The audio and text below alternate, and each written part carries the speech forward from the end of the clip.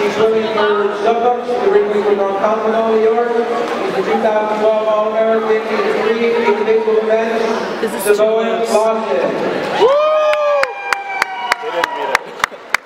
In lane six, swimming for Jamestown, she's originally Corry, Pennsylvania.